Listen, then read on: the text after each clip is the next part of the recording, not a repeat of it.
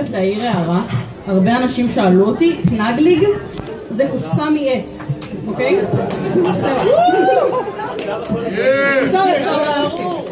עכשיו אפשר להמשיך. סבבה. כן. אני נמוכה. אוקיי.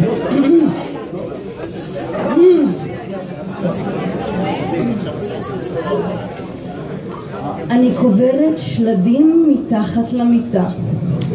בארון, על הקולב, מתחת לכיור במטבח. זה בזבוז לקבור באדמה.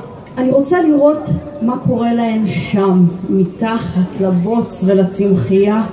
אז אני משאירה אותן קרוב, ומוודא שהן עוד שם. שאף אחד חלילה לא מצא אותן. לא טיפלתי בגופות, לא ניקיתי מהאור, מהבשר, והשארתי רק עצמות, קברתי אותן כך, כפי שהיו. בבגדים עם העיניים פעורות. יש לי אחד מכל שנה. נכון לעכשיו יש כבר 23. אלו לא גופות של אחרים. אותי אני קוברת כל שנה מחדש. כמו נחש משילה את עצמי של השנה שעברה, מרימה אותה בעדינות, מקפלת הכי קטן שאפשר ומניחה במקום הפנוי הבא. כל כמה ימים בודקת את התקדמותה, עוקבת בזהירות תוך כתיבת הערות איך לאט לאט הן מתנפחות, נרקבות, מתפרקות, הופכות למזון, לרימות ונותרות רק העצמות. בלילות חמים עולה הריח שלה ועוטף אותי כמו שמיכה פוך עתיקה.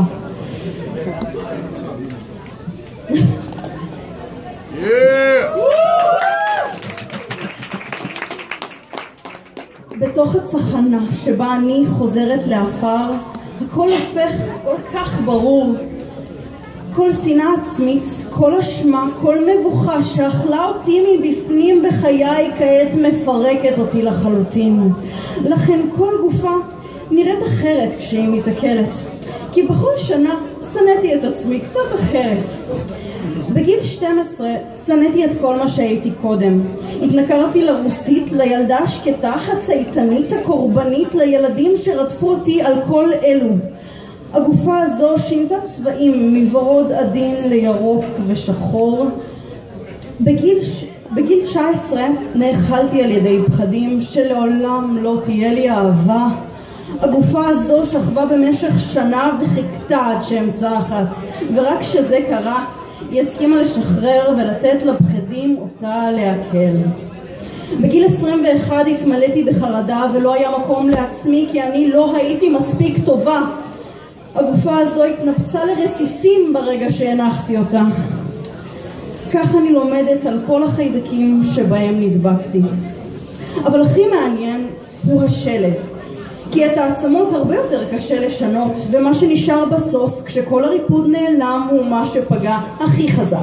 על העצמות ניתן לראות כל נפילה, כל פציעה, כל פגיעה. על עצמות לא רואים ליטופים ורקטות, רואים מכתשים עמוקים כמו בלב ים, ובמעמקים יצורים מוזרים, שמנסים לנבור יותר עמוק, כי רק שם הם יכולים לחיות. עם שיניים חדות ואורות מפתים, כמו אותם אנשים שהבטיחו אהבה, אבל ברגע האמת ידעו לעקוץ בכל המקומות העדינים.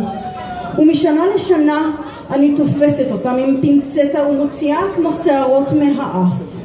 וכשכל זה יצא, מורחת את הסדקים באהבה ומשייפת בהבנה עד שכל חלק בגוף הזה יהיה חלק עד לשד עצמותיו כי אין דבר כזה יעבור עם הזמן. כל חרא שמישהו אי פעם עשה מקועקע על האור בתוך האיברים חרוט בעצמות עם פטיש ואזמן האדם היחיד שיכול לאהוב את כל זה באמת לקבל את כל הצלקות, לאהוב את הסדקים ולרפאם, זו אני. כי יש דבר אחד שלא משתנה לעולם, והוא עמוד השדרה.